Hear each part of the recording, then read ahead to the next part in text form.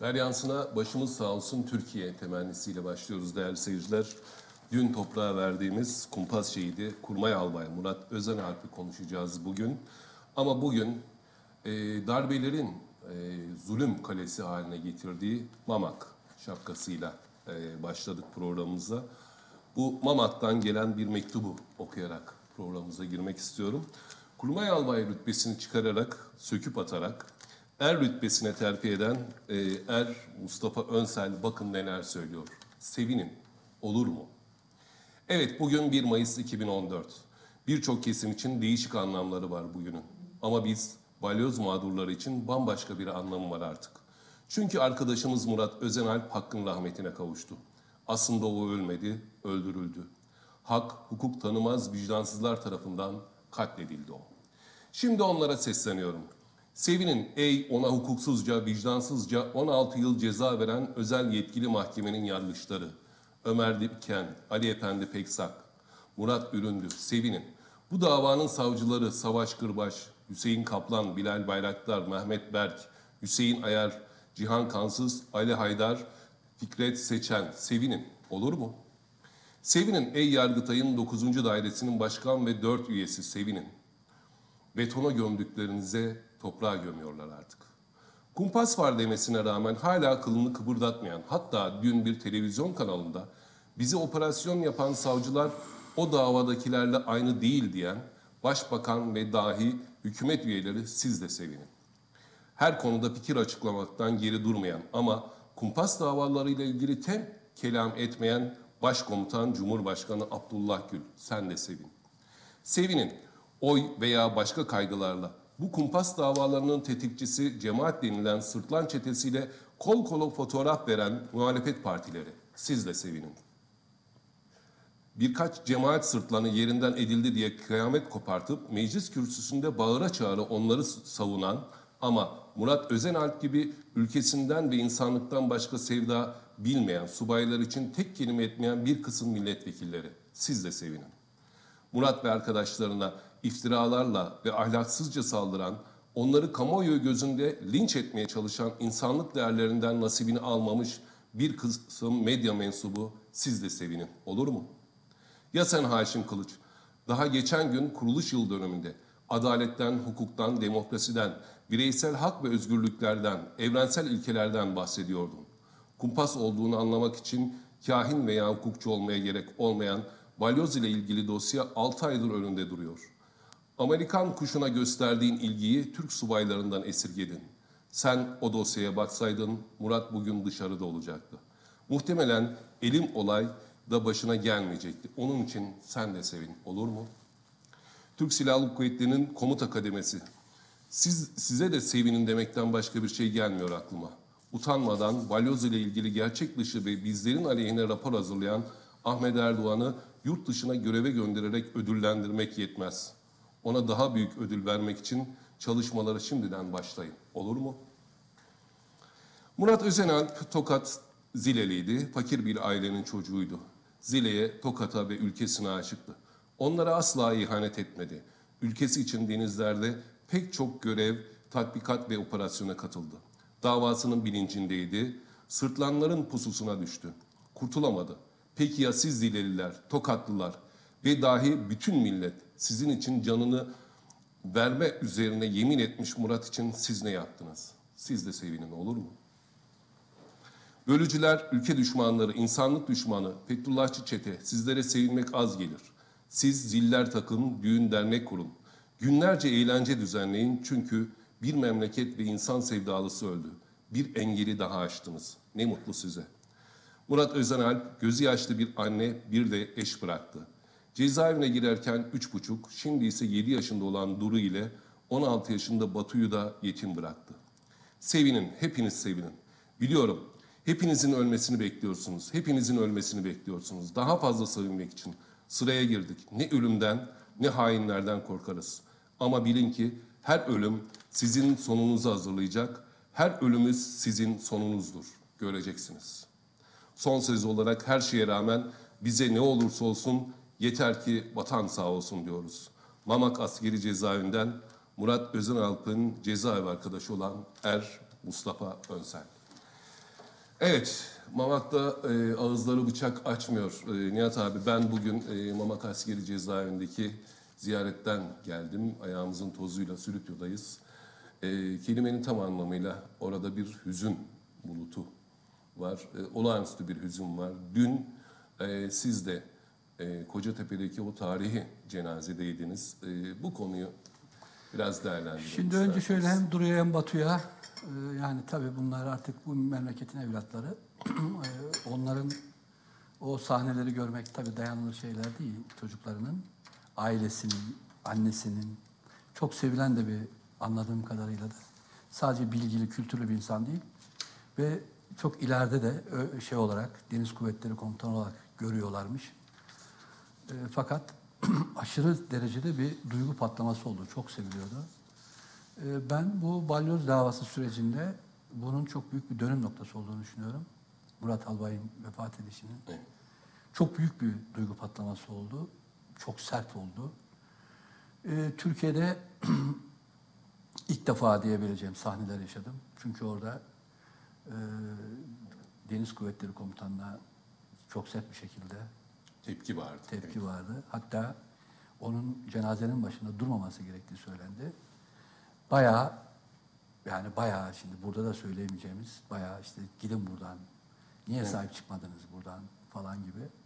Fakat kayıtlara gitsin diye de söylüyorum. E, gazetelerin hiçbiri yazmadı. Katil Erdoğan diye de bağırıldı. Katil AKP diye de bağırıldı. Evet. Makam hırsızları diye de bağırıldı. E, Bu tür şeyler yani orada çünkü cenazeye 5-10 metre mesafedeydik. Çok seviliyormuş. E, Kim var kim yok geldi. E, Belki de bu bugüne kadar bu süreçteki en kalabalık cenazeydi. Bunda Hürriyet Gazetesi'nin Den Yılmaz Özdül'ün duyurusunun da önemli olduğunu düşünüyorum. Zaten bir duyuru olduğu zaman genel bir duyuru, büyük bir yerden, diyelim Halk TV'den falan bir yerden kalabalıklar geliyor. Evet. O Allah'ın emri. Ulusal kanal da gün boyu canlı Gün yayın boyu yaptı. canlı Evet. yayın yaptı. E, o yüzden bir dönüm noktası olduğunu düşünüyorum. Ve orada evet hüzün vardı ama bir şey artık ters yüz oldu. Düne kadar mesela 6 ay önceye kadar, 7 ay önceye kadar işte sizleri de alacağız, sizleri de sıra geldi diye bizi tehdit edenler, bize casus diyenler, bize işte bu halkı öldürecek falan diyenlerin hepsi şimdi ters oldu. Böcek yerine düştüler. Casus yerine onlar düştü. Düşünebiliyor musunuz? 6 ayda bir sahne değişiyor. Şimdi orada muazzaf olan yani içerideki soylu subayların üniformalarını haksızca giymiş insanlar şimdi böcek gibi ve oradaki davranışlar da birçok subayın da yani bunları görmek de istemezdim. Böcek gibi, kaçar gibi, başı yerde hiçbir şeye cevap veremez gibi sıkışmış halleri e, içine düştüler. Bu tabii o hatta üniformaları çıkartın diye de 60, 70, 80 yaşında annelerimiz vardı, teyzelerimiz vardı. O üniformaları çıkartın diye de bağırıldı. Tabii ki yani bilmiyorum tam ifade edemiyorum ama böyle büyük bir patlama vardı. Ee, şunları söylemek istiyorum. Ee, eskiden kaleler vardır, kent kaleleri muhasıra altına alınırdı. Bu muhasıraya içeridekilerin dayanma gücü çok önemliydi. Çünkü 3 ay, 4 ay, 5 ay yiyecek gelmeden ne kadar dayanabilir? E, Bu kale muhasırasında en büyük devrimlerden biri Fatih'in toplarıdır. Fatih topları geliştirdi ve gülleler surları yıkmaya başladı tarihte ilk defa. O yüzden 1500 tarihi, 1453 tarihi önemli bir tarihtir kent muhasırasında. Ve ondan sonra kaleler daha hızlı düşmeye başladı. Eskiden 6 ay dayanan kaleler Evet. sonra 10 gün, 15 gün gibi dayanmaya başladılar. Şimdi benim gördüğüm büyük bir kuşatma altına girdiler. Hem cemaat hem bu tertip ve tezgah yapanlar hem de şu anda başı yerdeki içeride cemaat sızıntıları büyük bir kuşatma altına girdiler. Bu kuşatmaya çok fazla dayanabileceklerini sanmıyorum.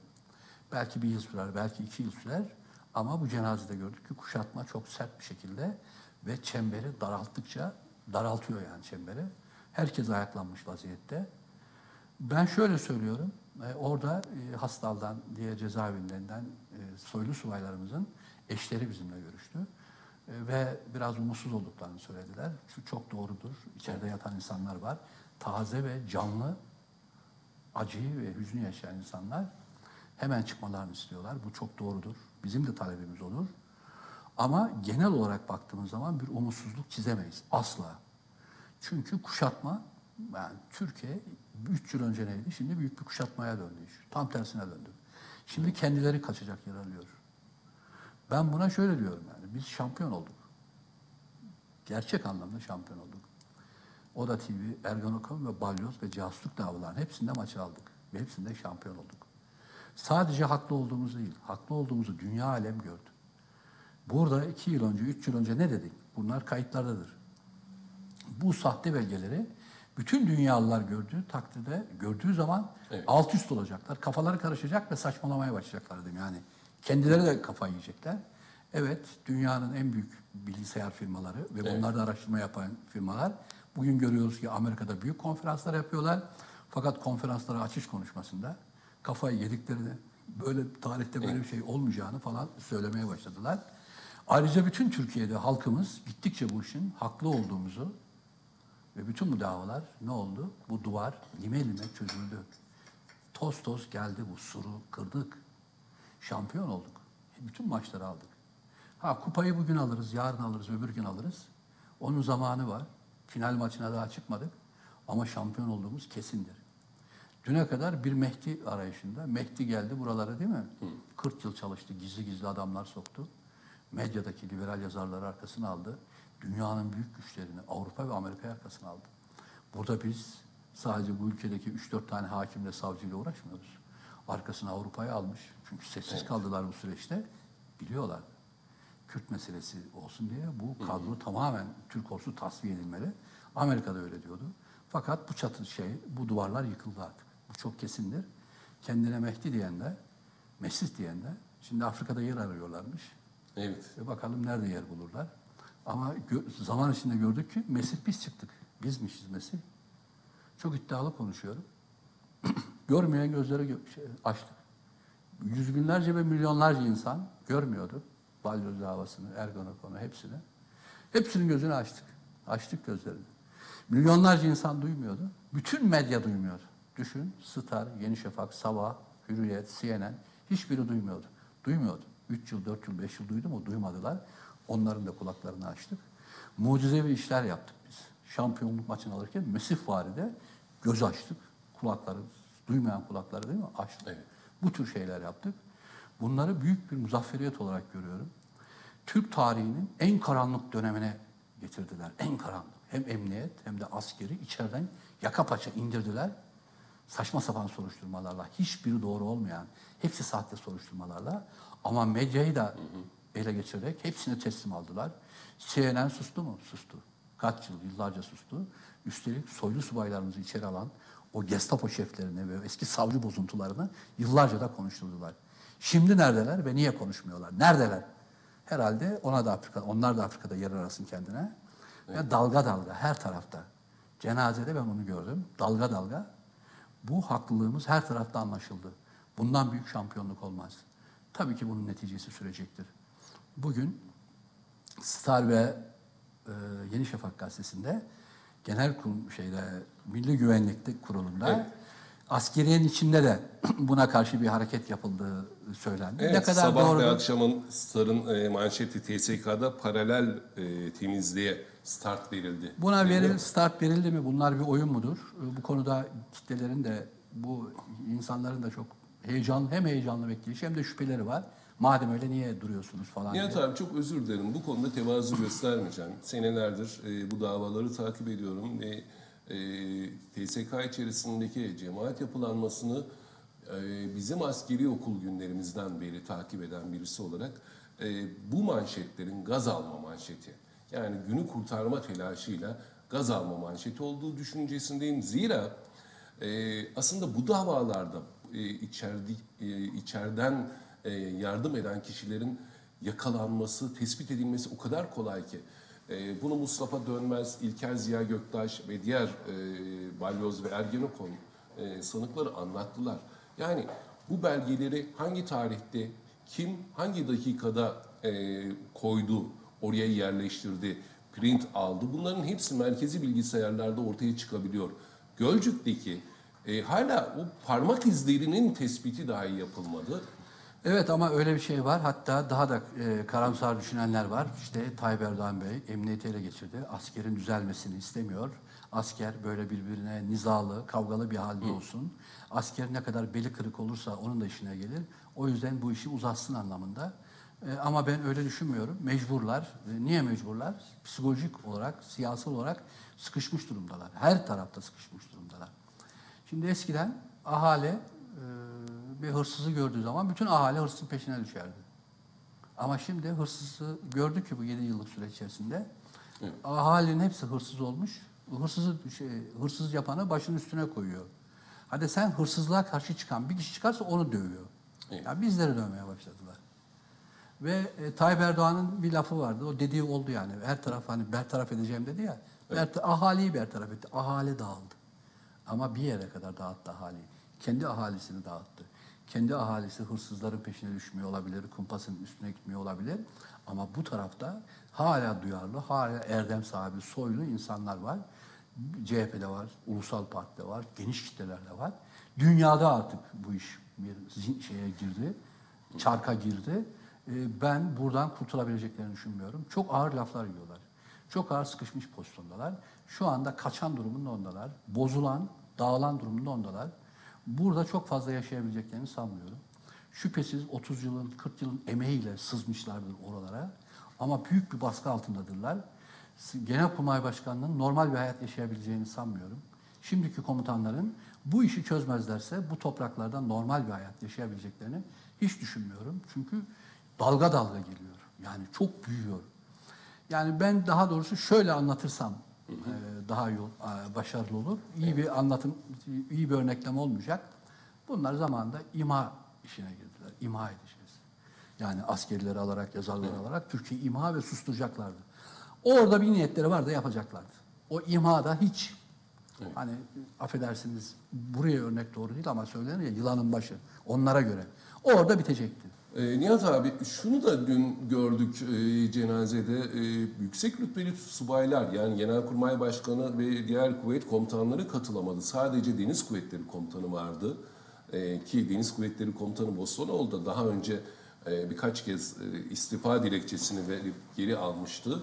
Ama ona da tepki vardı. Bu, e, bu tepkilerden dolayı belki daha da e, yükselebilir endişesiyle herhalde Necdet Özel ve diğer Yok onu tahmin ediyorlar. Ben e, o Bülent şey, Deniz Kuvvetleri Komutanlığı'nın cemaatçi olduğunu düşünmüyorum. Yani e, fakat oradaki kaçarken korumaları içinde, kalabalığın içinden kaçarken gözünü sağına soluna gözünü kaçırdı. Böyle hafif var ya öyle e, ne oluyor arkadan. O biraz e, şundan kaynaklandı. Ben GATA'daydım. E, Müyesser Yıldız'la beraber GATA'ya başka e, gazeteciler alınmadı. Biz aile e, efradı olarak girdik içeri. Orada da yoğun bir tepki vardı. E, şu- O kadar korkmasına gerek yoktu. asker bizden, endişesi var. asker o kitleden korkmasın. Ee, o beni rahatsız etti. Niçin korkuyor ve kendi subaylarından niçin kaçıyor asker? Ben onu korku olarak değil de bir utanç vesilesi yani e, olarak görüyorum. Çünkü e, personeline sahip çıkamayan komutan konumuna düşmek de Ee, zor bir de gerek. suçluluklarını hani eskiden bir şey vardı. Cenazeye gelip alacakları zaman ya da orayı düzenleyecekleri zaman hani açılım vardı. Çıkın şuradan vardı. Evet. Hani çok basit düzenlemelerdi bunlar. Açılır mısınız? Çıkın buradan Evet. falan gibi. Protokol Şimdi bir- var. he, bu protokol düzenlemelerinde bile hiçbir böyle açılın diyemediler hiç kimseye. Hiç kimseyi Evet. itemediler. Hiç kimseyi boşaltamadılar. Hiç kimseyi uzaklaştıramadılar. Bu ilk defa olan bir şey. E, ama bu insanlar, burada bu cenazeye katılan insanlar, o muazzaf insanlara da çok büyük bir ders verdiler.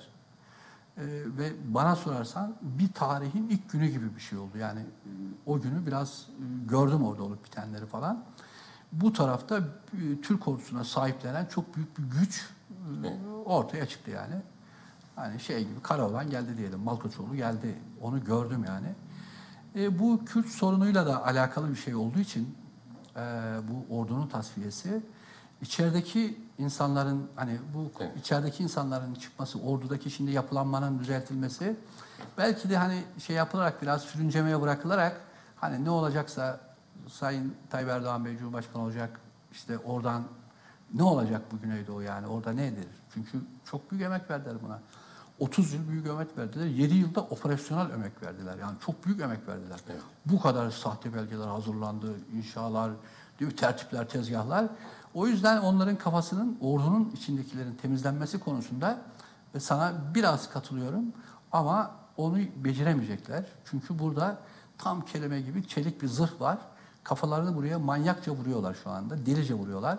Buradan geçit yok. Bu bunu görsünler yani. Bu çok net ortaya çıktı. Buradan geçit yok. Büyük bir şey oynadılar. CHP'yi işin içine katarak. Mesela CHP'nin cemaatle işbirliğine girip işin içine girmesi çok acayip bir şey. Yani çok acayip bir şey şimdi. Her ne kadar CHP bunu kabul etmiyor olsa da Hayır canım biz Ama- e, olup biten e, hareketin şekline bakarız. Olup biten yani yeni seçim e, öncesindeki seçim öncesi olup bitenlere bakıyoruz. E, bu bu o daha büyük bir felaket gibi geliyordu bana. Cemaat yeniden bir kanka bulup sızmaya çalıştı. O yüzden şu anda iç- ordunun temizlenip temizlenmeme konusunda e, bu tezgahı yapanların kafaları net değil yani. E, fakat e, o taraf e, işte bu net olmayışı bir sürünceme yapıyor ama bu tarafta çok büyük bir şey var. Bir şampiyonluk var yani. Bu, bu geçit bitti yani. Bu maç kaybetti. Bu kale dağıldı yani. Bundan sonra artık kaçan kendileri. Şimdi burada büyük bir hali var ve hırsız kovalıyoruz biz. Casus kovalıyoruz. Ve bütün halk peşimizde, yanımızda bunu kovalıyoruz yani. Bu çok açıktır. Artık bu saatten sonra zırnık hiç kimseyi susturamazlar. E, hakimler, savcılar artık e, sümen alt edemezler, sallayamazlar. Ya boş verin bunları deyip bir imha projesini artık sürdüremezler. E, bunu Haşim Kılıç da yapamaz, öbürü de yapamaz. Ama hani kuyruğu kertenkele kesersin, kuyruğu hala canlıdır. Onlar direnecekler şu anda. Bir direnç gösteriyorlar. Bu çok nettir. Yani onlar Allah'tan umut kesilmez diye son bir gayretle bir direnç gösteriyorlar. Çok net bir direnç göstermeye çalışıyorlar. Ama bitti yani. Bu, bu çok net. Evet, e, Nihat abi şeydi, e, dün Gata'daki törende, e, bugün Hikmet Çiçek de e, Aydınlık'ta yazmış, e, Cennet Kapısı. Cennet Kapısı Morgun adı aslında yani. E, ama e, Gülhane'de Gata'da oraya Cennet Kapısı deniyor. Orada başladı ilk tepkiler. Ve e, sizin de katıldığınız Kocatepe avlusunda ki Ankara'da son yıllardaki en kalabalık cenazelerden birisiydi. Şehit cenazelerinde bile e, Güneydoğu'daki terör şehitleriyle ilgili cenazelerde bile bu kadar kalabalık yoktu. Siz de oradaydınız. O gözlemlerinizi anlatıyorsunuz ama e, önemli detaylar da var. Çok etkilendiniz. E, birlikteydik dün. E, onlara da devam E, edelim. tabii yani ben biraz kendimi şey gibi görüyorum. Yani ayıptır söylemesi. Hani böyle bir kendim hani kamuoyunda tanınan bir insan olduğum için turnusol kağıdı derler hani. Kendimi böyle bir şey olarak şöyle görürüm. Yani bir bakarım adam subay beni gördüğü zaman başını yere eğiyorsa, görmezden geliyorsa, gözünü kaçırıyorsa o cemaatçi yani. Allah hani o, o kesin yani. Beni böyle sarımsak gibi görürler yani şey yapamazlar. E, Onları tanıyoruz yani ama gereğinden çok fazla e, general geldi e, bize elimizi sıktı, sarıldı öptü ve çekinmeden büyük komutanların yanında yaptılar bunu. Nihat Bey sizlerin konuşmaları bize can veriyor falan dediler. Benimle alakalı değil bu. Orada bir sesin yükseldiğini, Evet. e, kuşatmanın artık seslendiğini. Çünkü dün bu sesler hiç gelmiyordu. Bugün ben 3-4 tane sayabilirim yani. Ya, tabii ki biz soylu insanlarız. Burada isim verecek durumda değiliz. Asla da öyle bir şey olmaz. Ama böyle bir canlanmanın olduğu ve işin tersine döndü. Artık dereler tersine akıyor yani onların şeyi. Bunlar çok net ortaya çıktı. E, Murat Albay'ın bu büyük duygusal patlaması askerinin içinde de büyük bir duygusal patlama gerçekleştirdi. Ve bu artık hırsızları biz kovalıyoruz, casusları biz kovalıyoruz. Artık kuşatma, e, çevrildiler.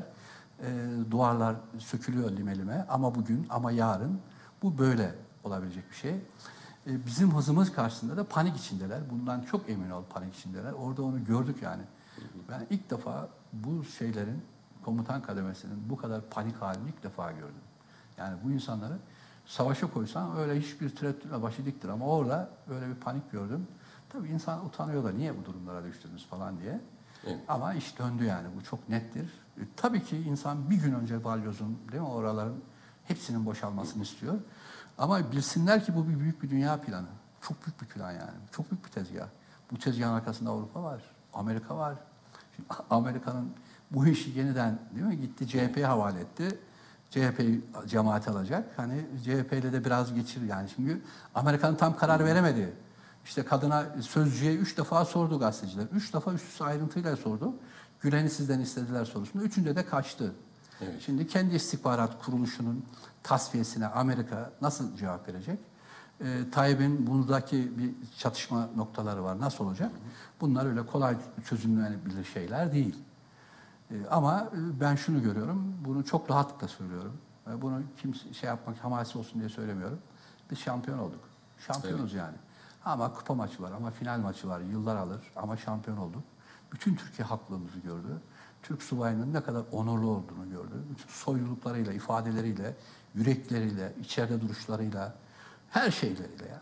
Hepsi birer erdem abidesi, namus abidesi olarak bu toprağın değil mi, gerçek evlatlar olarak kim çıktı? İşte bunlar çıktı, herkes söküldü değil mi? Bu dönem büyük bir eleme dönemi oldu, herkes elendi. Kimmiş bu memleketin sahici çocukları? Kimmiş anasından temiz süt emmişler? Değil mi? Hepsi çıktı ortaya. Çok net bir şekilde çıktı. O yüzden ben yeni tanışmıştım. Bu balyoz sürecinde tanışmıştım bu subaylarla. O yüzden hepsini kutluyorum. Düne kadar hep birileri onları siz işte Kemalist, tek parti bu ülkeye çullandınız, yukarıdan bakıyorsunuz gibi değerlendiriyordu. Yalan yanlış. Ama şimdi bu ülkenin gerçek sahiplerinin kim olduğu çıktı ortaya. Elendi elendi değil mi? Ali Bayramoğulları, Etyen Bahçılar, o liberal tayfalar, o NTV, o CNN, o Habertürk, o hepsi. Eskiden mafya satardı uyuşturucu. Mafya uyuşturucu satardı. Şimdi uyuşturucu satan CNN, uyuşturucu satan NTV, uyuşturucu satan Habertürk. Halkı hala uyuşturmaya çalışıyorlar. Ama bu olayda bile mesela Murat Albay vefatında hani uyuşturucu satamadılar biraz şey yaptılar. Ve artık bu uyuşturucuyu satamayacaklar. Ben size söyleyeyim. Bugün e, Mamak'ta çok ilginç bir şey gördüm. E, Müyesser bunları yazmıştı işte ambulansın şoförünün bulunamayış biz. E, iki ambulans vardı. Bir de Hızır Acil Servis e, getirilmiş ki bu eksiklikleri de ortadan kaldırmak için ama e, bir hakkı da yine teslim edelim. Sevgili Müyesser'in hakkını teslim edelim. Dün e, Oda TV'de yazdığı e, Murat Albay'ımızın e, o konduğu e, mezarın resmiyle beraber Türk ordusunu bu çukura sokamazsınız. E, başlıklı yazısıyla. Müesser her halükarda belki içeridekiler Oda TV'den çok izleyemeye olabilirler. Müesser her halükarda bütün bu kavganın tam ortasında en önünde ona hep o bizim başka bir şeyimiz müesser. O bir yani tarih kitaplarında okuduğumuz Evet. hani vardır ya böyle, öyle bir şey yani. Ben Bugün Mamak'taki çok yakın arkadaşımız olduğu halde ben müessere inanamıyorum. Onun o çalışı, yazıları yetiştirişi, fotoğrafları yetiştirişi falan inanılmaz bir kız. Adıyamanlı bir kız. Gidip o Adıyaman toprağını sık müesser için öpmek istiyorum. O kadar değerli bir arkadaşımız. Çok da güzel şeyler yaptı. Tabii bu süreçte Yavuz unutma, e, diyorlardı ki e, işte özellikle Pekkan'ın ağzına bunu vermişlerdi. Doğulu, e, samimi ve temiz insanlarımızın ağzına ya memleket hıyar mı bölesiniz, bölünsün diye öyle laf dağıtıyorlardı güya atan. Evet işte memleketi askerlerimizi içeri atıp hıyar gibi ikiye böldüler. Niye askerlerimizi bu yüzden içeri attılar? Hıyar gibi ikiye bölmek için. Şimdi o hıyarı tuzlayıp tuzlayıp yiyor. E, grup konuşmalarında Tayyip Erdoğan Bey. E, halkımız artık e, askerlerimizin ve yazarlarımızın e, ya da bu milli soylu yazarların, solcu yazarların niçin içeri atıldığını çok iyi biliyor. Güneydoğu'da büyük bir operasyon yapmak için, Suriye'de büyük bir operasyon yapmak için. Bu artık bütün gerçekliği ve çıplaklığı ortaya çıkmıştır. Biz de bunlara, bu ülkenin çok direnen milyonları var, 10 milyonları var. Amerikan elçisine de bunu dedik, Amerika'ya da bunu dedik, herkes de bunu dedik. Bu topraklarda çok büyük bir savaşı göze almadan, Evet. milyonlara demiyorum, 5 milyonları, 10 milyonları göze almadan bu ülkede ameliyat yapamazsınız. Bu laf ilk söyleyen benimdir ameliyat lafını. Yapamazlar. Şimdi deniyorlar hala bir deneme yanılma yapıyorlar. Ne olacak? Yumuşak yumuşak hani çekiyorlar ipi falan. Nerede kırılacak, nerede şey yapacak falan diye. Yok. Bu çok nettir. Bu, bu topraklar büyük bir güç ve dirayet göstermiştir. Hepsi büyük bir dirayet göstermiştir. E, Onlar kendince teorinin üstünde hıyar gibi böldüler. Tuzlayıp da yiyorlar ama bunlar teori. Yiyorsa, yiyorsa hadi bölsünler. Bu topraklarda neye uğradıklarını şaşırırlar. Olup biten her şey bir günde olup biter. Bütün şeylerde böyle olmuştur. Nelerde olduğunu herkes biliyor. Hiçbir şekilde bu toprakta emellerini gerçekleştiremezler. Delikanlıysanız o soylu subaylara ve yazarlarınızı içeri atmadan fikirle, düşünceyle, meclisle değil mi gelip bunları yapacaktınız. Böyle gadigullilerle, pisliklerle, tezgahlarla Pensilvanya'da bilmem kimleri tutarak, ajan gibi yerleştirerek, buraları darmadağına ederek bu ülkeyi böleceksiniz. Gücünüz yetmiyor işte. Kendi kendinize girdiniz. Yani bir de şimdi düşün yani Müslümanım diyordunuz ne hallere düştünüz? Kendi ordunuzun ipini çeken, kendi bayrağınıza saldıran, kendi değil mi? Evet. Memleket değerlerinize, ülke değerlerinize saldıran bir hale geldiniz. Cumhuriyetinizle dalga geçen, alay eden, bunları küçümseyen adam haline geldiniz. Bakıyorum yazarlara, işte damat Ferit'in adamları, aynı adamlar. Devam, damat Ferit'ten gelmişler. Hala konuşmaya çalışıyorlar. Hepsi de havuz parasıyla, bu ülkenin halkının paralarıyla gelmişler.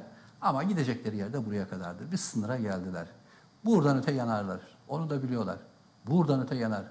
Hani peygamberimiz bir sınıra kadar gelmiş. Allah şeyinde sırretül müntena. Artık oradan öte geçilmez gibi yani. Hani Allah'la şey arasında bir sınır, ateş yanarsın diye. Bunlar o büyük yangın yerini gördüler.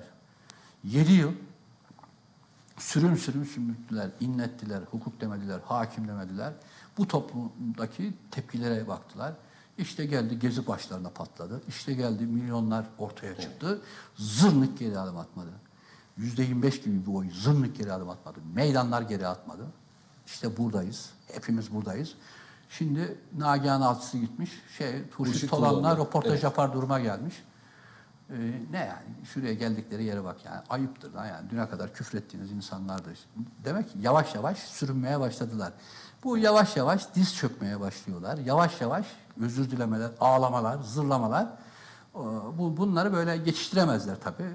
Ama bu millet e, Artin Kemalleri, Ali Kemalleri e, unutmadığı gibi Hasan Tahsinleri de unutmuyor. Bu benim lafımdır. Bu toprak kir tutmaz. Çok sağlam üstünleri vardır bu toprağın. Çok sağlam. Samimi söylüyorum çok sağlam üstünleri vardır. Manevi üstünleri de çok sağlamdır. Yunuslar, Mevlana'lar, Erenleri, Alpleri, yüce soylu soylu şeyleri, komutanları ve cumhuriyeti ve yurttaşlık yani tarihin her döneminde dünyaya cevap vermiştir. Haçlı seferlerine cevap verdik. En sonunda İngilizler burayı işgal etti, işte Fransızlar işgal etti. Ona karşı da yurttaşlıkla cevap verdik falan. Çok sağlam sütunları vardır. Evet. İki yıl, üç yıl kandırırsınız kendinizi. Ne oldunuz? Rezil oldunuz. Aleme maymun oldular. Hepsi şu anda maymun durumdalar. Hem havuz parasıyla geçiniyorlar, hem bilmem ne yapıyorlar. Böyle saçma sapan laflar yazıyorlar. Kalk gücün şeye getiriyor. Tek part döneminde şu olmuş da bu olmuş da hala. E, bir bak aynı yazarlar bir bak şu 11 yıllar zırnık yazabiliyor mu? Zırnık bir cümle. Sizin e, onlar maymun dediğiniz bazı yazarlar da evet maymunum diye cevap verdi. Değerli seyirciler kısa bir aradan sonra Beryansın devam edecek.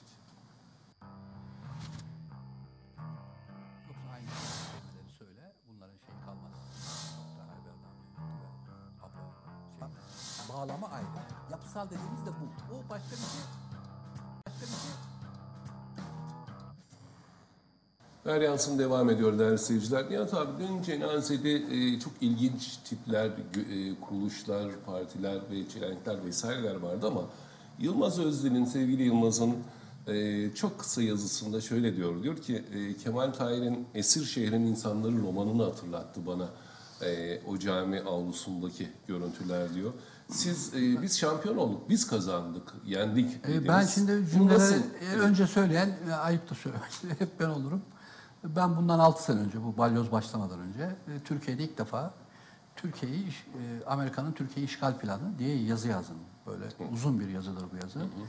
Daha Aydınlık Gazetesi yoktu o zaman. O da TV'de falan yazdım. Sonra bir yerlerde şey yaptım. Çok eski bir şey. Yani bu süreç başlarken Doğu Perinçek alındığında bu işgal lafını kimse etmedi yani. Korktu, çekindi ya da şey Evet. yapamadı. Şimdi yavaş yavaş işgal lafını Tayyip söylemeye başladı. Ee, Evet, bu işgal. Ben bu işgalin göğüslendiğini düşünüyorum. Çok sert bir şekilde göğüslendiğini düşünüyorum.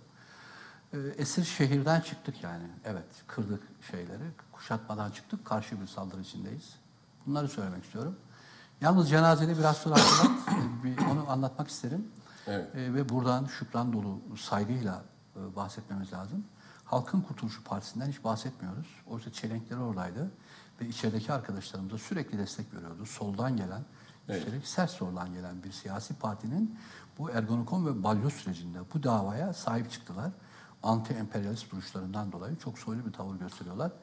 Onu da bir ara mutlaka Evet, şey onu yapmak- e, son bölümde Mutlaka e, 1 kayıtlara- Mayıs'taki- kayıtlara sokmamız lazım. 1 Mayıs eylemleriyle ilgili konuda onu gündeme getirelim ve Hikmet Kıvılcımlı'nın ve Türk solundaki e, o kırılmalardan bahsedelim.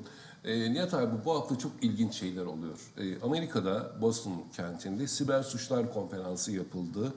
En büyük tartışma ise e, Ergenekon ve Balyoz'da sofistike bir dijital sa- e, sahtecilik sunumu Biraz önce yapıldı. söyledim Evet. işte yani.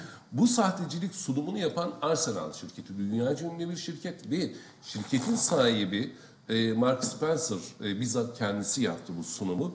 İlk önce e, Ezgi Başaran yazdı, E, sonra Ertuğrul Özkök bugün köşesine taşımış ve dünyanın bütün e, adli tıp kurumlarının e, bu konuyu ele alması gerektiğini ve hukuk fakültelerinde ders olarak okutulması gerektiğini söyleyen bizzat e, artık Mark, Mark Spencer söylüyor. Ve e, düne kadar e, ateş olmayan yerden duman tutmaz diyen Ertuğrul Özkök bile bu sahteciliğin artık e, meydana çıktığını ve balyoz davasının düştüğünü ve bir an önce hemen e, bu insanların tahliye edilmesi gerektiğini söylüyor ama e, balyoz davasının yeniden yargılanma vesaire gibi hep e, seçim öncesinde bir takım havuçlar uzatıldı ama e, başbakandan ve hükümetten herhangi bir şey yok. Hatta e, yani her şeye konuşan, her gündemi hep belirlemeye kalkışan Başbakan ve e, AKP yönetimi dün e, Murat Özenalp'in cenazesiyle ilgili tek satır bir şey söylemedi. E, bunlar şimdi şu anda özür güç- dileyen, taziye e, dileklerini sunanlar Türk diktat- ordusundan başsağlığı bile dilemedi. Bu diktatörlükler direniş görür, direnişe göre kendilerini ayarlarlar. E, Ses bakarlar, kontrol ederler ne kadar sert bir ses geliyor. Ona göre ayar yaparlar. Sessiz kaldığınız müddetçe onlar görmezden gelir, sürüncemeye bırakır. Bu Allah'ın emridir. Bu her zaman böyle gelişti yani. O yüzden bunlar beli kırılmış bir ordu. Bunların çok işine geleceğini düşünüyorlar. Yani o açık yani. Belki cemaatle didiştikleri için cemaatin adamları falan olsun istemez ama cemaat sesini çıkarmazsa, işin içine de operasyon olarak karışmadığı müddetçe cemaatten de çok rahatsız olabileceklerini ordu içinde düşünmüyorum. Emniyeti sağlam aldıkları zaman böyle düşündüklerini düşünüyorum. Bu büyük bir şeydir, e, büyük bir şeydir, kumpastır yani. Bu, bu Türkiye'yi ilgilendiren bir kumpas değildir. Ben m, tekrar ediyorum, burada bütün dünyanın kafayı yiyeceğini, hukuk fakültelerinde okutulacağını defalarca söyledim. Bu büyük bir kumpastır. Fakat bu kumpası bu halk yıktı, bu tezgahı kırdı yani. Kırmasının sebebi yani şey, şeyine, yani gerçekten şey, dirayetli insanları varmış. Cumhuriyet yetiştirmiş yani, bir takım insanlar yetiştirmiş. Tabii bir de işin başka tarafı var. Yani kapitalist de bir tarafı var. Şimdi işinde gücünde bir sürü insanı susturdular. Şimdi e, orta çağda zamanlar vardır yani. Kilisenin çanı vardır. Bizde ezan vardır. Bir de sabahın beşinde tarlaya kalkarsın. Sonra devlet daireleri sabah sekizde açılır. Dikkat et herkesin bir iş trafiği vardır. Şimdi modern toplumda herkesin iş trafiği var. İş saati ve zamanı var. Sabah 8'de işe gidiyor. Devlette çalışıyor adam. Bu adamlara çok bir şey yapamazsın. Onlar o saate ayarlıdır yani. Kapitalist toplum onları o saate bağımlı kılarlar. 8'de gidecek, 5'te dönecek, yorgun gelecek. Ne zaman, nasıl sesini çıkarsın? Diğer kalanları da ezanla diyelim, çan sesi ya da ezanla durdururlar. Ezan da bir sestir, o da oraya çağırır. Bunun teorisi de Avrupa'da yapılmıştır. Yani devletin, e, devlet sizi e, şeyle, zaman aralıklarında mahkum ederek bağlar sizi. Türkiye'de işte büyük kitleler hani diyor ki insanlar hala içeride eşleri yatan kadınlar diyor ki ya büyük kitlelerden niye ses yok? Ya bunlar bağlanmış, bu zaman aralıklarına bağlanmış. Biri mesaiye bağlanmış, biri ezana bağlanmış, başka bir yere bağlanmış. Bu bir tahterevallidir.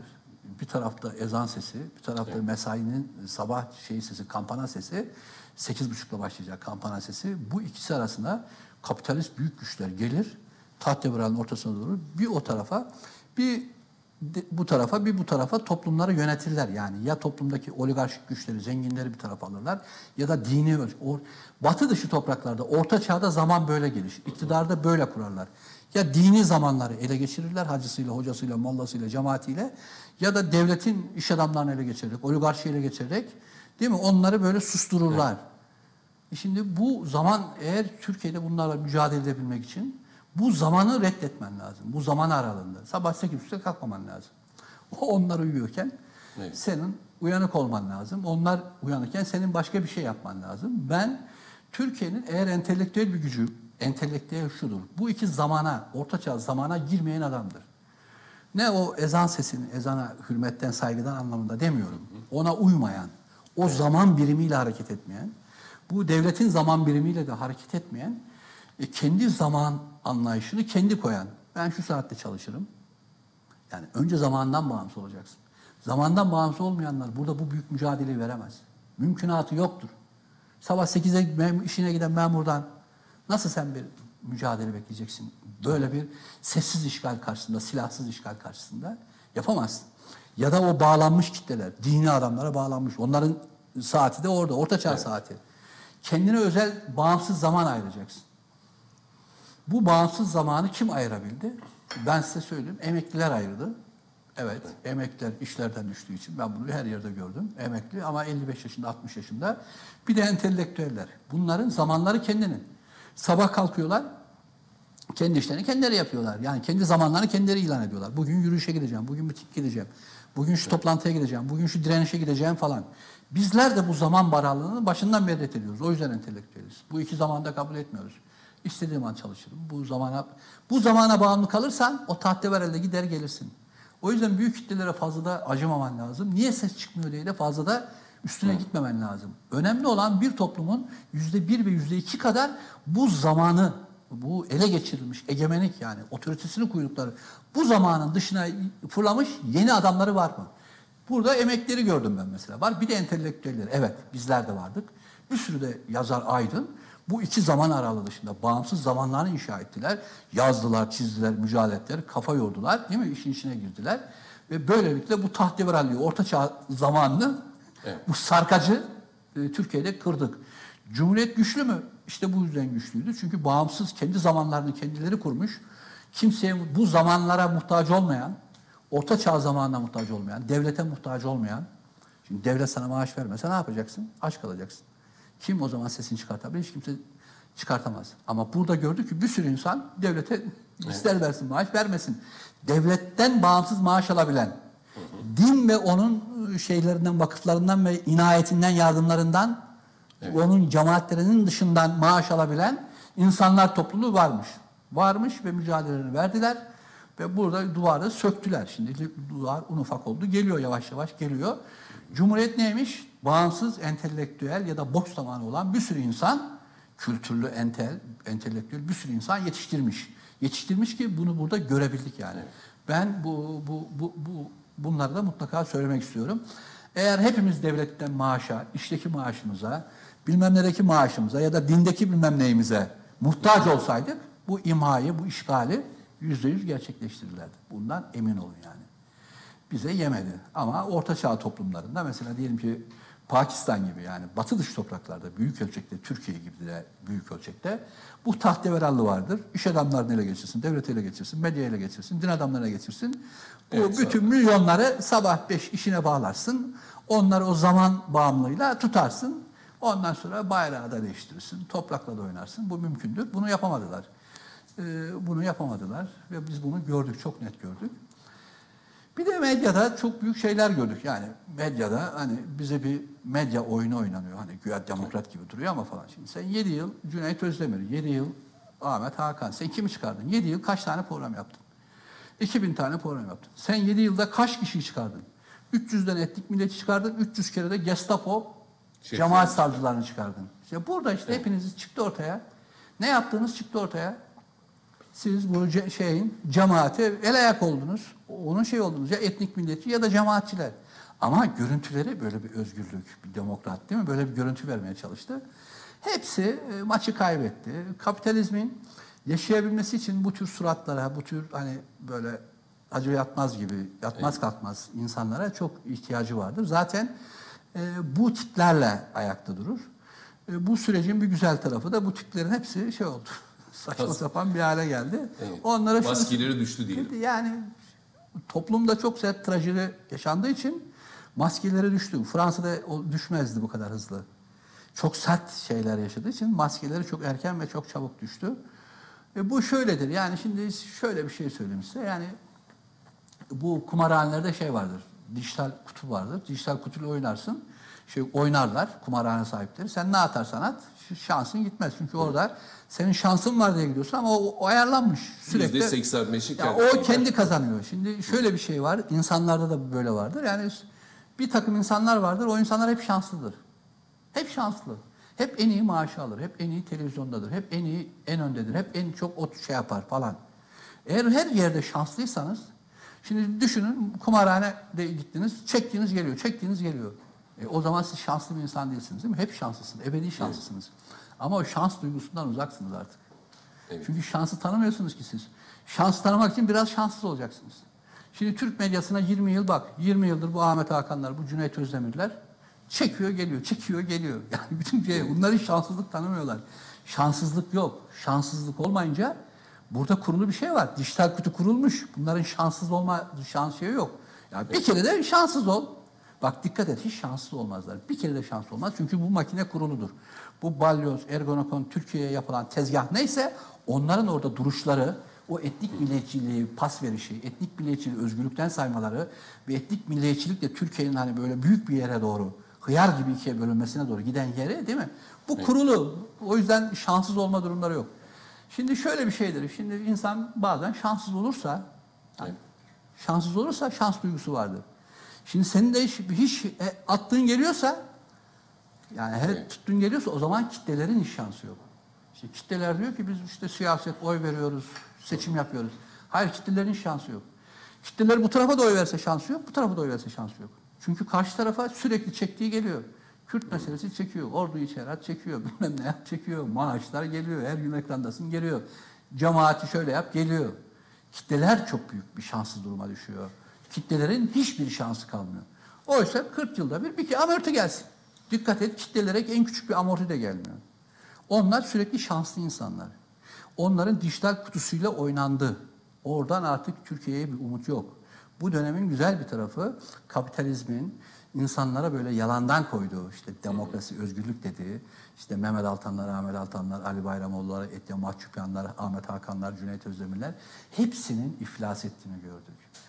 Bunlar dikkat edin Türkiye son 20 yılda belki de 20 kere alt üst oldu. Büyük sorunlarla alt üst oldu. Ama bunlara hep çektiler geldi, çektiler geldi. Ee, ebedi şanslı insanlar bunlar. Bu şanslı insanları da Türkiye çok iyi tanıdı. Ee, ve Türkiye tanıdı yani. Hepimiz tanıdık bunları. Lan bir kere de şanslı olun be. Bir kere de içeri düşün. Bir kere de kötü bir şey olsun. Bir kere de maaşınızdan olun. Değil mi? Ha, şimdi bu kadar şanslı olmaları halkı çok kuşkulandırıyor. Ya ne oluyor kardeşim? Hep maaş, hep orada. Her devir de Her devrimde tıkır değil mi? yürüyor. Bu işte bu kadar bu bir zincir. Ee, Kapitalizmin bir zinciri var. Yani şöyle bir zinciri var. Bu bir saadet zinciridir. Bu saadet zinciri işte özgürlük ve demokrasi deyip ama göz yumultan, kitleleri uyuşturan. İşte sen 7 yıl soylu subayların içerideydi. Ya bir program yapabildin ya iki program. O da sıkıştırıldı falan kenarda.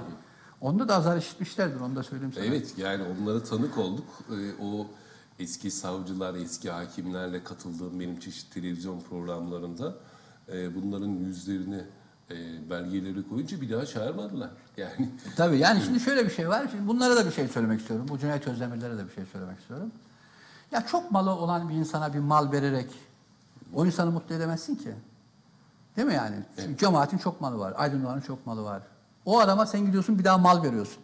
E o adamda zaten mal var. Yani sen ona 10 milyon versen, 20 milyon versen ne olur ki? Onun zaten var. Çok mutlu olmaz yani. Kim mutlu olur? Olmayana verdiğin zaman olur. Şimdi bu günlerde de hani hakkı e, ara, hak arayan, altta kalan, eşitsizlikten dert yanan, dilekçesi ciddiye alınmayan milyonlarca insan vardı. Siz hayra yani hayra bir iş yapmak istiyorsanız bu insanlara gidecektiniz. Bu insanlara değil mi bir, bir, bir şey yapacaktınız. Siz öyle yapmadınız. Siz cemaate taşıdınız. Aydın Doğan'ıza taşıdınız. Onlara verdiniz. Onlar size verdi. Paslaştınız.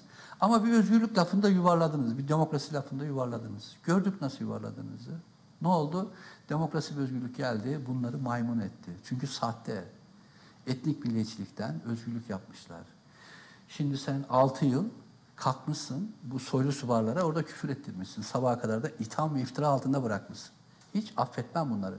Kim ne derse desin ben affetmem.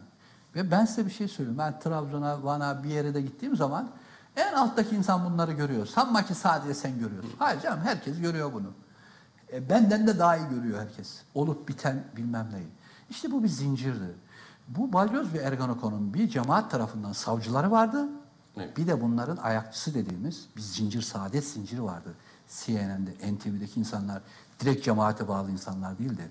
Ama o kapitalist, o oligarşik statüko var ya Amerikan statükosu. Türkiye'ye dayatılmış, Kürt sorunu çözeceksin, askeri içeri atacaksın. Ha bu, bu zincirin ayaklarıydı. Bunlar hepsi bir zincir. Hepsi aynı zincir bunlar. Bu saatten sonra ha cemaat, sen 7 yıl cemaati konuşturuyorsun ama ya işte sıkıştık da ne yapalım da devir onların dönemi. Hayır değil. Hepiniz o maaşları alarak, oralarda durarak, itiraz etmeyerek bu zincire ortak oldunuz. Hepiniz bu saadet zincirinin içindesiniz. Türkiye işte bu güzel şeyleri gördü. Tıyniyeti gördü, erdemi gördü. Değil mi? Her şeyi gördü, tarttı ve eledi. Türkiye bu süreçte kandırılamayacak bir yere geldi. Kimseyi kandıramazsınız artık. Bu yalan düzenlerinizde. Bir ne nasıl oluyor siz? Bir ömür boyu piyango alıyorsun, her gün piyango çıkıyor sana. Ya bu nasıl oluyor ya?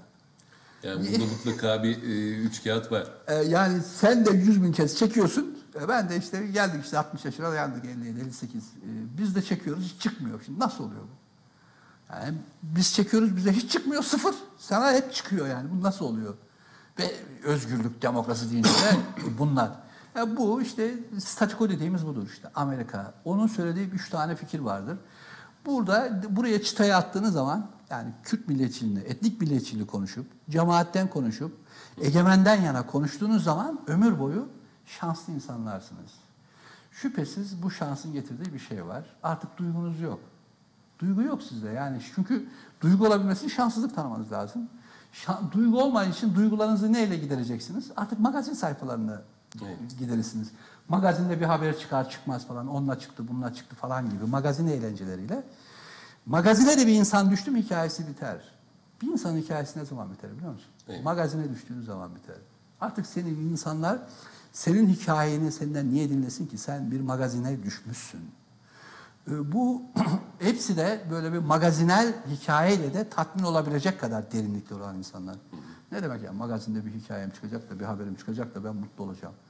Ben çok sert, çok soylu, çok derinli, evrensel temalı hikayeler yazdığım zaman yazabilme içinde, işimin içindeyken ben mutlu olurum. Yani orada haberim çıktığı için değil. Ama işte bu zincirin içindeki insanların beyin yapıları, zarları, kafatasları, değil mi? Bu oynanabilir şey. Ben şunu gördüm, etnik milliyetçiler, yani Türkiye'deki etnik milliyetçiler, Avrupa'daki bu tezgah yapanlar, hem Türkiye'deki etnik milliyetçiler çok kolay aletler buldular kendilerine. Yani çok kolay. Yani PKK orada 4000 kişi değil yani. PKK medyada bu şeyleri gördü, bir zırh elinde. Şimdi say bana NTV'de, CNN'de ve Habertürk'te çıkan, 7 yılda çıkan etnik milliyetçilerin sayısını çıkar. Say 100. Öbür tarafı sıfır. Ya da kurbağadan, yalandan böyle birisine öyle bir şey yap. Bir, bir tane falan. Ha o da var. Hayır. 99'da bir. O çıkanlara da katılmıyorum ben yani. Onu da söylüyorum. Orada şey, öyle kurbağa lafları da söyleyeceksin yani. İki lafın kesilecek, üç lafın kesilecek falan. Her neyse bu düzen, bu zincir Türkiye'de açığa çıkmıştır. Yani sadece tezgah, bu, bu konuşmayı uzatmamın sebebi şudur.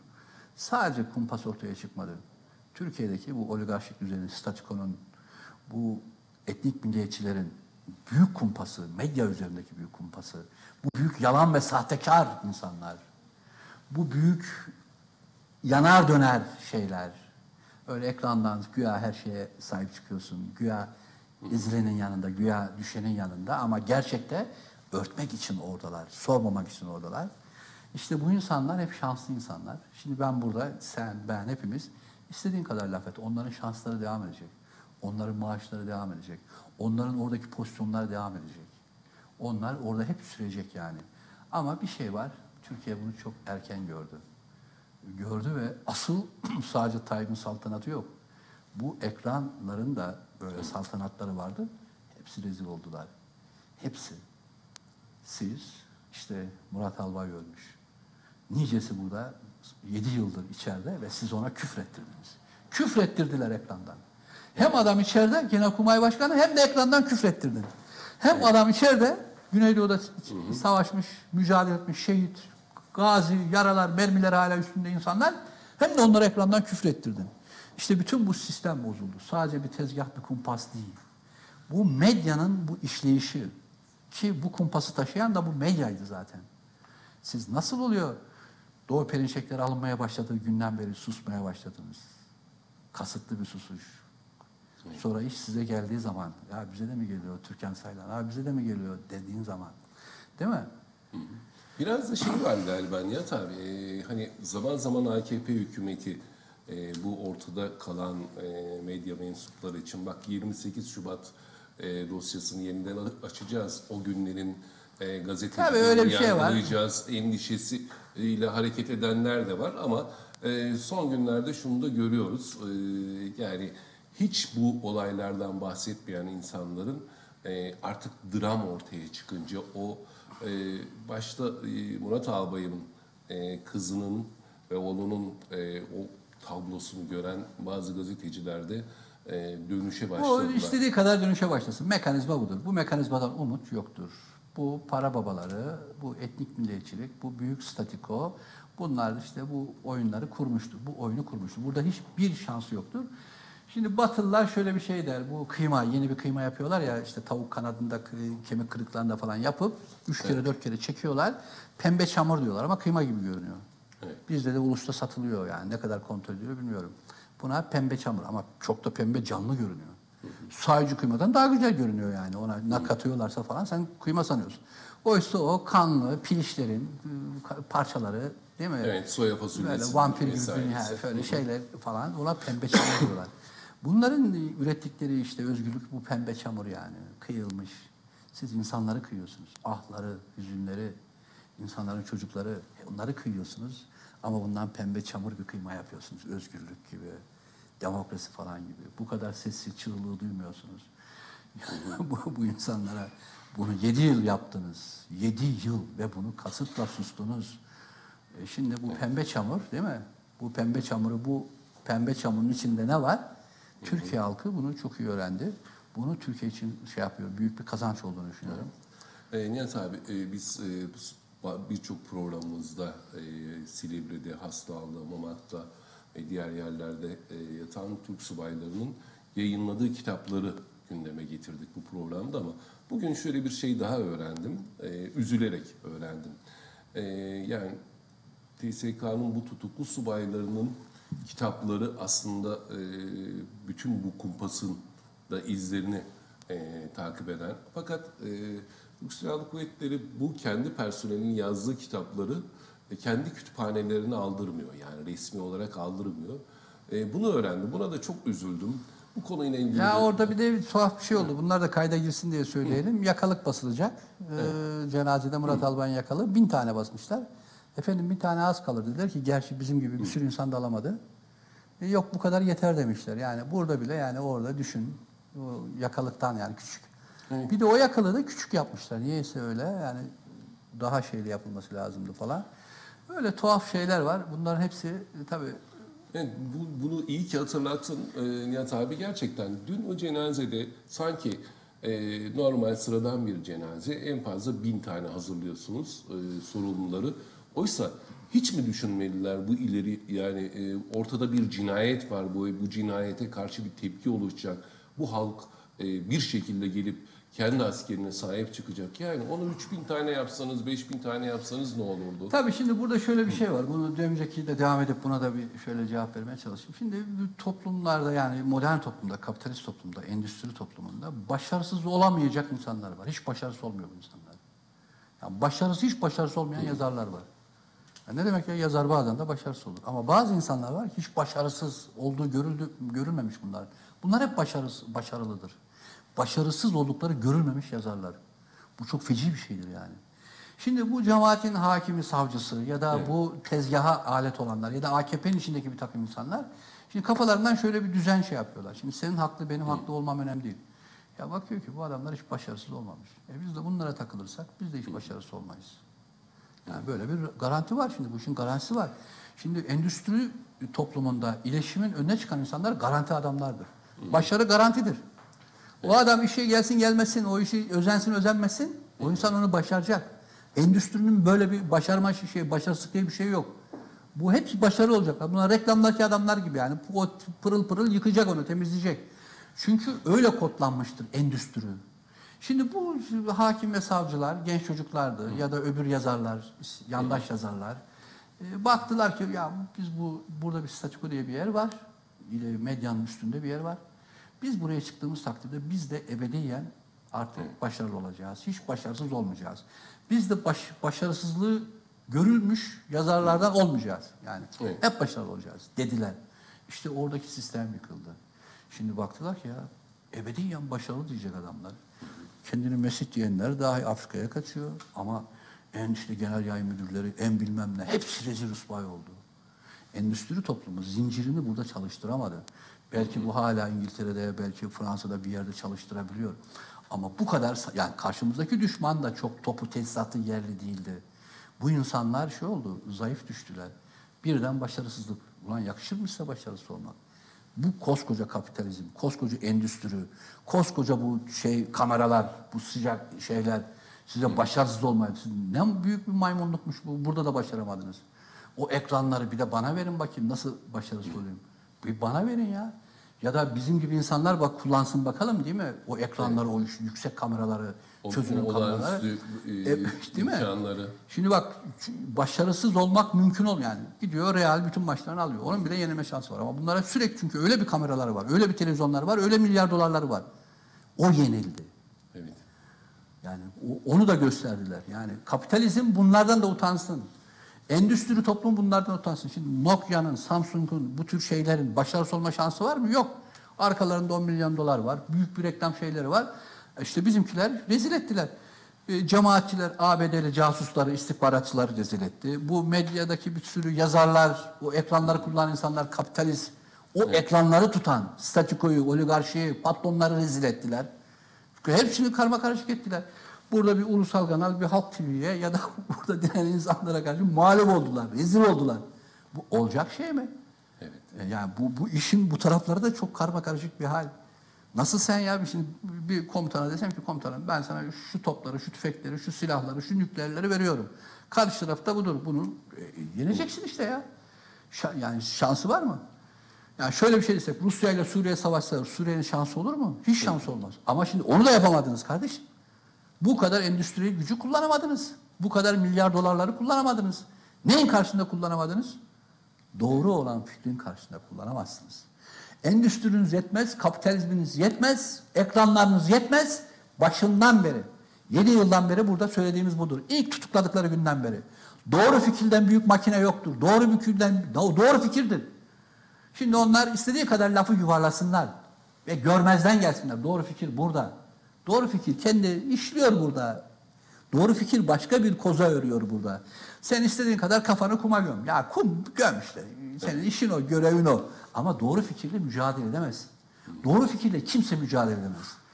Ben bu süreç içerisinde bir şey Z raporu, bir akşam raporu verecek olursak Evet. endüstrileri, kapitalizmleri, kameraları, ekranları, 7 yıl, maaşları, el altından casusluk, sahte şeyleri, hem istihbaratlarıyla da hepsiyle de başaramadılar kardeşim. Evet. Onlar Amerikalılara diyorum ki siz yan Türklerin çok yanlış taraftaki insanlarla iş gördünüz. çok başarısız, Evet, beceriksiz zeka insanlarla evet, e, tartışılan. iş gördünüz. Gelin vazgeçin. Dürüst insanlar, ahlaklı ve erdemli insanlarla çalışın. Bunlarla oturun masaya. Bunlarla nereye kadar işte gördünüz malınızı gördünüz. Sizi rezil ettiler. Hem dijital sahteliklerde rezil ettiler hem ekranlarda rezil oldunuz. Evet. Ee, Nihat abi kısa bir ara vereceğiz. Değerli seyirciler kısa bir aradan sonra Veryans'ın devam edecek. Ee, bir taraftan Taksim ve 1 Mayıs olaylarını tartışacağız. Ee, öte yandan da yeniden kızışan Cumhurbaşkanlığı adaylığı meselesini konuşacağız. Ulusaldan ayrılmayın.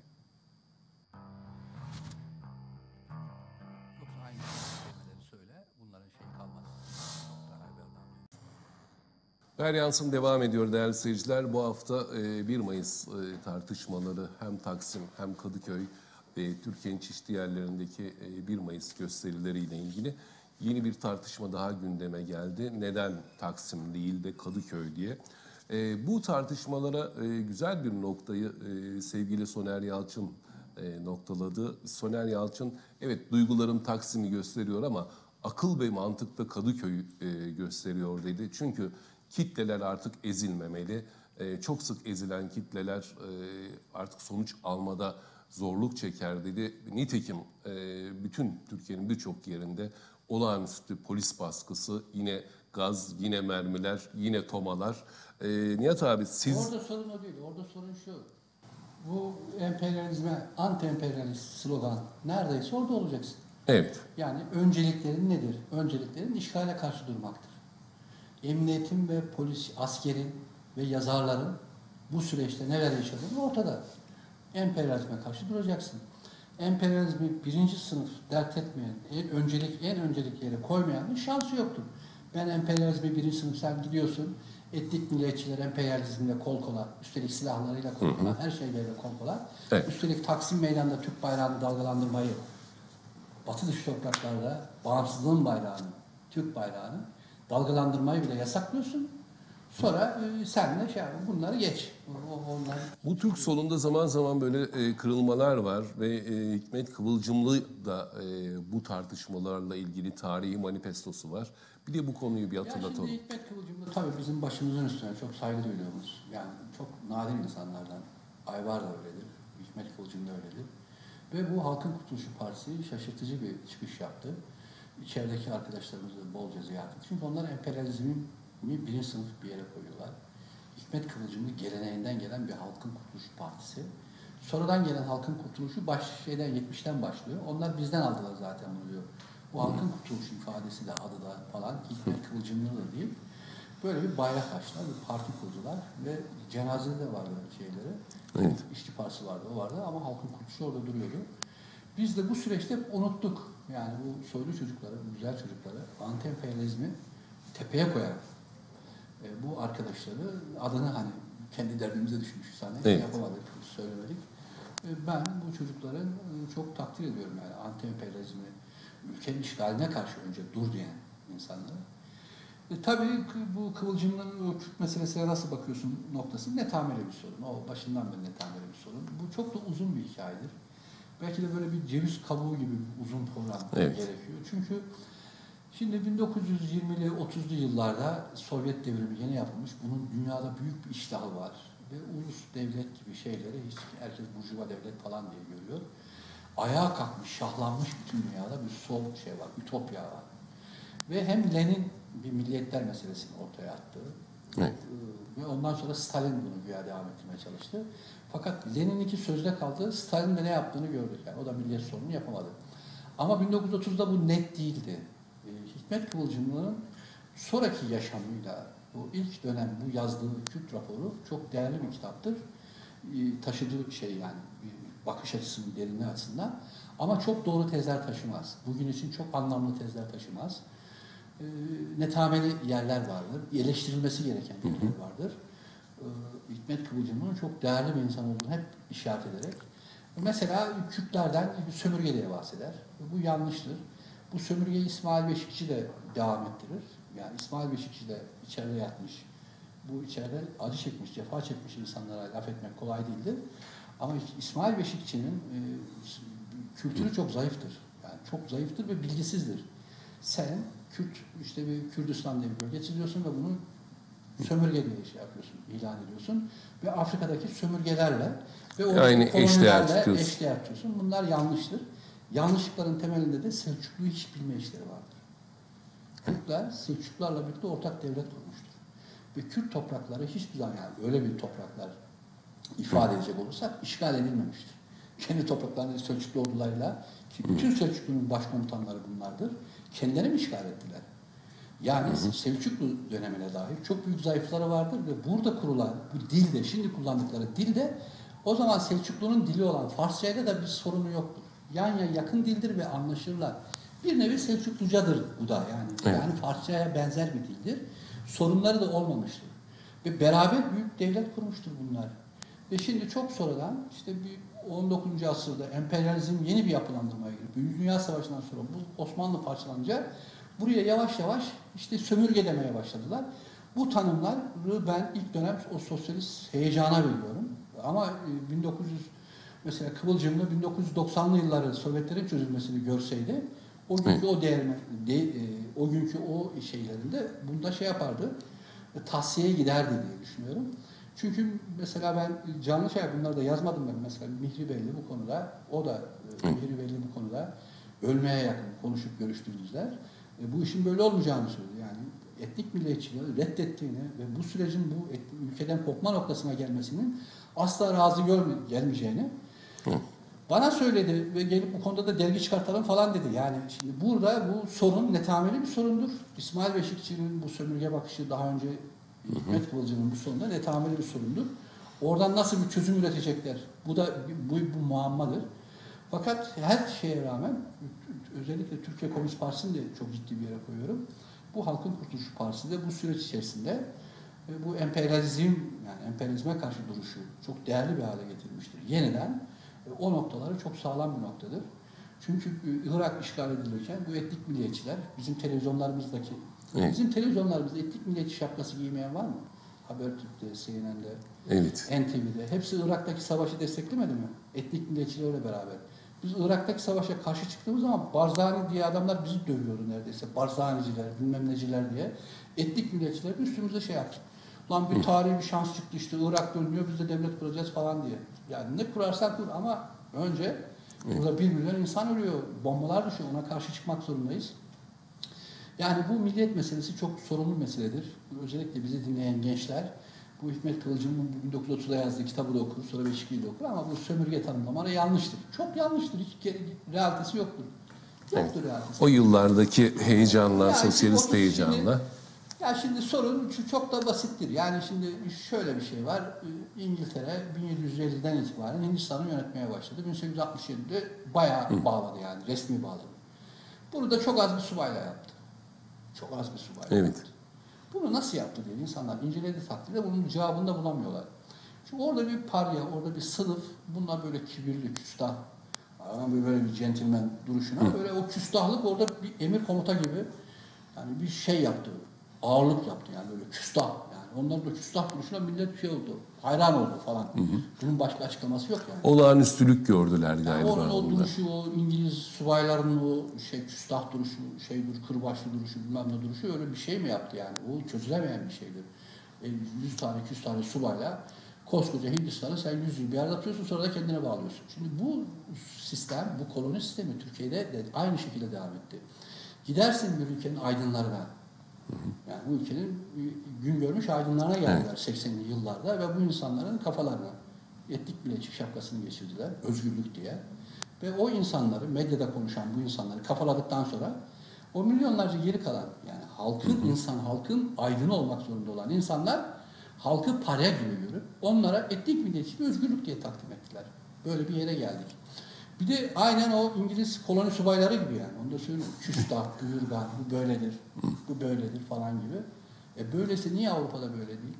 Niye Fransa'da böyle değil? Niye öbür tarafta böyle değil? Niye bu etnik milliyetçiliği burada şey yapıyorsunuz? Avrupa'dan kovulmuş etnik ve mezhep milliyetçiliğini Türkiye'de özgürlükten sayıyorsunuz. Ve Türkiye'deki halkın işte kafasıyla şeyiyle oynadınız. Değil mi? Bu Türkiye'de yapılan şey medyanın, bu endüstrinin ele geçirilmesidir. Buna çok şeyler PKK buna Avrupalı solcu, Avrupalı hayalici, romantik solda PKK'nın adamları da e, buna çok mücadele ettiler ve bunu başardılar. E, ve o etnik milliyetçilik e, ekranlardan değil mi şey yaparak üstelik küstah, üstelik buyurgan ve bu fikrin dışına atış, çıkanları da faşist, ırkçı, yo- yok edilecek, içeri atılacak adam gibi. Yani bu fikrin dışındaysa seni içeri atacak falan. Artık doyamadılar bayrağı içeri atmaya. Doyamadılar Türk ismini, Türkiye ismini ki hala da yapabilecekleri yok. Bunu şey yapmaya başladılar. Bunlar şimdi çok büyük bir sorundur. Çok ciddi sorunlardır. Şimdi mesela özellik tartışılırken, şimdi özelliği çok net bir şekilde ortaya koyan yok ki. Nasıl koyacaksın özelliği ortaya? Vergi verecek mi? Asker ne olacak? Bak kale, senin orada yaptığın kale kollara saldırıyor. Demek ki askerin istemiyorum diyor. Askerin istemiyor diyorsa bu özelliği de aşmış bağımsız bir federal yapı. E hani hıyar gibi bize öyle diyordunuz, siz ya Türkiye hıyar gibi bölünecek diyordunuz. İşte geldikleri vergi zaten vermeyecekler. Kale kollara asker de gitsin buradana getiriyorlar. E, bu cahil bir iç savaştan kışkırtıcılığı istiyorlar. E, zaten PKK'nın bütün amacı bir iç savaş kışkırtıcılığıydı. O çocukları öldürmesinin, İstanbul'da canlı bombalar atmasının sebebi biz de gördüğümüz Kürtlere güya saldıracağız. Böylelikle onların dediği olacaktı. E, bunu başaramadılar. Fakat çok zayıf, ekonomik olarak bağımlı bir e, şey, zayıf, e, kendi meşruiyeti için Amerika'ya, Avrupa'ya taviz vermek zorunda kalan ılımlı bir İslam projesi işte moda ettiler cemaatiyle bunlarıyla. Bunlarla yapacaklarını düşündüler. Bunlarla da olmadı ve duvara tosladılar. Düşünün 20 yıl Türkiye'de, 20-25 yıl Türkiye'de oluşturdukları bütün fikirler, üstelik bütün enerji. İflas etti. Üstelik bütün aydın ve yazarlar. Yani bu değil mi? Sadece e, medyada yazan 809 tane köşe yazarı var. Ama bir de bunun akademisi var. Yani Türkiye'nin zeki diyeceğimiz 10-15 bin adamının bütün enerjisi ve fikriyatı boşa çıktı. Avrupa projesi boşa çıktı. İşte Güneydoğu'da halimiz bu. Türkiye'deki hukuk, emniyet, ordu, polisin geldiği durum bu. Bütün bu enerjiyi iflas ettirdiler. Bir tek ellerinde küstah bir duruş kaldı. O öyledir, bu böyledir. Yok ya, nasıl öyledir? Bir toprak bağımsızlığı için mücadele edecek.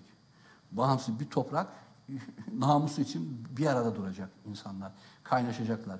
Yurttaşlık etrafında, anayasa etrafında toplanacaklar. Bu kadar basit. Bu yalanları söyleder söyleder fakat bunlar da bu ülkede tutturamadılar. Çok zayıftılar. Ee, Yani buradan onların Amerika'daki elçilerine, abilerine, üstadlarına, oradaki think tank kurumlarına gidip yalvardıkları ya ne olur sümen altına sürmeyin diye gene gitmişler. Yalvardıkları süpürge. abilerine söyleyelim. İlişkiye girdiğiniz cemaatçiler nasıl bir belge oluşturamayacak kadar düşük zekalıysa bu aydın liberal tayfa sadece böyle burunlarında "Ya kırarız o burnu kimde ben o burnu kırarım ben. O küstah bu- buyurgan burunlarıyla bir ülkenin kaderiyle oynayabileceklerini gösterdiler. Çamurun içine girdiler işte hepsi. Rezilliğin içine girdiler. Şimdi nereden nasıl çıkacağını bilmiyorlar. İnsan bir sorar. 30 yılın enerjisi. Saçmalıyorsunuz be. Hala geldiğiniz yerde ülke kalmamış. Hala tek part döneminde o olmuş da bu olmuş da bilmem ne de. Yok da CHP onu yapmış da bunu yapmış da hala oradasınız. Siz onları geçin. Siz geçin. Siz 30 yılda ne diyordunuz? Ne oldu? Kullandılar sizi işte hepinizi. Yani sorun gelmiştir bir aydın sorununa kendi kişiliği olmayan, eseri olmayan ki bu en değerli cümle budur. Bu insanların eserleri yoktur. Bana şöyle eser diye göster bakayım. Yani bir bilimsel kariyer olabilecek, bir doktora tezi olabilecek, ciddi bir şey yani. Baktığında ha bu bir şeydir diyebileceğin. Hani ressamların tablosu var ya. Bunların da böyle. Yani bir heykel gibi onda yazı bir şey olacak. Bu tür böyle 50 sayfalık, 50 kelimelik makalelerle 10 Evet. kelimelik cümlelerle bir, bir şey eserleri olmayan insanlar maaşlanarak ve küstah bir burun verilerek Türkiye'de bir dizayn yapmaya çalışmışlar ve bunu başaramamışlardır. Şimdi Nihat abi bu küstah buyurganların son dönemde bir dayattığı bir başka şey daha var. Malumunuz Cumhurbaşkanlığı seçimleri yaklaşıyor. Bu küstah buyurganlar Abdullah Gül mü e, yoksa Tayyip Erdoğan mı? Sanki üçüncü bir şahıs yok. E, öte yandan bir konu daha var. E, bunu yine sevgili e, Can Ataklı gündeme getirdi. Cumhuriyet Halk Partisi'nin de ana muhalefet değil e, partisi olarak onların da bir e, kafaları karışık. Onlar da henüz ee, yani ne oluyor bizim de adayımız şu diyemedi. Hatta Ataklı'nın bir başka iddiası daha var. Ee, Cumhurbaşkanı adayı olarak Mustafa Sarıgül'ün çıkarılacağını iddia ediyor. Onu ortaya attı. İşte İstanbul'da yüzde 40 aldım. Ben Türkiye'de yüzde 40 alırım gibi. O belediye başkanı olurken yaptıkları İstanbul'dan belediye başkanı olurken yaptıkları proje zaten bu. Hani çünkü İstanbul'da çok oy var. Çok oy alınca en çok oyu ben aldım. En çok oyu ben alınca işte Cumhurbaşkanı falan. Sonra Cumhurbaşkanı'na gidecekler. Cumhurbaşkanı seçimlerinde ikinci gene kazanamayacak ama aldığı oy e, CHP'nin aldığı oydan gene fazla çıkacak. Bu sefer gene başkan ben olacağım diyecek. Bu bir şeydir. Öyle bir tezleri var. Onu geç. Oralardan iş çıkmaz. size Şimdi göre- sorun e, Yavuz, e, sorun Cumhurbaşkanlığı sorunu değildir Türkiye'de. E, CHP bu şeytani ilişkisini açıklamadığı müddetçe de çürüyor ve bir şey bir kabusa döndü artık. Şu anda kıllandı. Ne diyeceğini de bilemiyor. Ne olup bittiğini seçim sürecinde cemaatle ve Amerika'yla ya 17 Aralık'la da ilişkili ne olup bittiğini ifade etmeden bir muamması vardı Deniz Baykal'ın kasetleri. Şimdi ikinci bir muamma geldi. Burada ne oldu? Bunu açıklayamadıktan sonra CHP'nin hiçbir şansı yoktur. Ee, bir CHP'nin e, aday göstereceği adayları da halkın da ciddiye alacağını düşünmüyorum ben. Ee, size göre Cumhurbaşkanı adayının kriterleri ne olmalı? Ya şimdi o uzun bir soru. Ben başka şekilde size bir şey söyleyeyim. Yani şimdi bir şey şöyle bir eşya yani zihnimizi başka bir yere koymamız lazım. Şimdi e, kavgalı gürültülü bir ortamda, kavgalı çok e, kavgalı gürültülü bir ortamda çok sürpriz bir isim çıktı Ahmet Necdet Sezer. Sezer diye. Çünkü çok kavgalı bir ortamda onun o sakin kişiliği ve kimliğinin bir rahatlık getireceği de falan hani sürpriz bir isim. Bak siyasi de bir taraf değil. Evet. Bence de o siyasi bir taraf olmayışı da güzel bir şey oldu. E, Bir rahatlıkla getirdi oraya. Şimdi ne aradığınıza bağlı. Şimdi aradığımız nedir? Aradığımız sorun çözecek insandır. AKP içinde sorun çözecek bir taraf kalmadı. CHP bu cemaatle ilişkisini, kasetlerle ilişkisini, Deniz Baykal kasetleri ilişkisini de açığa vurmadıktan sonra, bunu iyice anlatmadıktan sonra da onun da sorun çözecek bir tarafı yoktur. O yüzden biz e, orada çok meşgul olmayalım. Yani orası bizi çok meşgul edecek bir yer değil. Ama bizim de şeyimiz, e, CHP bir çıkarsın adaylarını, biz de bu topraklarda kendi adaylarımızı çıkartacağız. Niçin çıkartacağız? Şöyle aday çıkartacağız. Şimdi adayı kazanması için değil. Zaten CHP'nin oyu ortada, muhaliflerin oyu ortada. Adayı ileride bu ülkede kimin siyaset yapmasını, kimin önde olmasını istiyorsan ona vereceksin. E diyelim Sabit Kanatoğlu, diyelim Metin Feyzoğlu, diyelim Emine Ülker, diyelim Ümit şey Baro Başkanı İstanbul Baro Başkanı. Koca sakal. Koca Sakal. Bu isimlerden bir tanesini öne koyacaksın. Ya da Abdülhatif Şener yani buradan hani rastgele söylüyorum. E, koymanın sebebi şudur. Ha, ben bu siyaset, bu insanlarla ileride siyaset yapmak istiyorum. O yüzden onu öne çıkarmak istiyorum. Yani Cumhurbaşkanı olmayacağını zaten biliyorsun ama ona güçlü bir halk desteği vererek onu siyasette öne fırlatıyorsun. E, o yüzden bizim de bir aday çıkartmamız lazım. Biz böyle de bir aday çıkartmak e, e, günü ve saati gelince biz de kendi fikirlerimizi söyleyeceğiz yani. Bu bunu şey bekliyoruz o günü. E, CHP bir saçmalasın. Saçmalığın üstüne bunu söyleyeceğiz. CHP'yi de asla dinlemeyeceğim yani. Evet ama Cumhuriyet Halk Partisi'nin içerisinde de e, kazanlar kaynıyor. E, hala e, bu seçimle ilgili öz eleştirilerini, sosyolojik sorgulamalarını da yapmadılar. Önümüzdeki günlerde neler olabilir? Yani artık Şimdi e, felsefeden gidelim. ve yönetimi de e, sorgulanıyor. Orası çürümeye yüz tuttu. Orası kendileri de korkuyorlar. Birileri parti kuracak diye şu anda korkuyorlar ve CHP'nin herkese, e, genel başkanlık düzeyindeki herkes aşağıda kulak dinliyor. Yani adamlarıyla dinliyor. Yüzlerce yerde dinliyorlar. E, Birileri bir parti hazırlığı var mı, bir şey olur mu, bir hareketlenme var mı diye korkuyorlar. Yani işler karıştı orada. O kongreler olacak bilmem ne. Onları bir şey yapmıyorum. E, Ben şöyle düşünüyorum. Daha e, felsefi konuşmak isterim. Yerim de orasıdır. Şimdi bizim e, eskiden onarılan, e, onarılması ve tamir edilmesi mümkün eşyalar vardı elimizde. Yani bir kırılırdı, ütü ama onu onarabilirdin.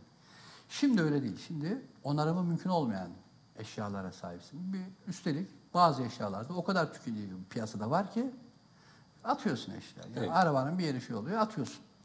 Hatta Amerika'da kasabadan daha büyük hurdalıklar var. Sebebi adam iki yıl kullanıyor, üç yıl kullanıyor ve atıyor. Ya bu motorunu değiştirirsin, şurasını değiştirirsin. Hayır onu demiyor. Sürekli e, tamire götürmüyor ve birden yenisini alıyor onu. Şimdi bu topraklarda bizler de bir zamanlar hep ayakkabıyı da pençe yapardık. Evet. Şurayı da yama yapardık. Hadi orayı geçtik. Pantolonun 60'larda gömleği kaldı. ters. Ama teybi giderdik, teybin şurasını şey yapardık ya da değil mi şurasını düzeltirdik falan. Şimdi o dönemde bitti. Şimdi biz de onarmadan hemen atıyoruz. Kullan at. Kullan ata döndük.